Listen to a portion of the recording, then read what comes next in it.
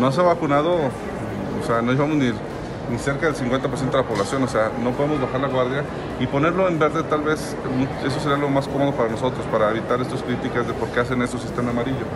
Pero yo creo que es una medida prudente.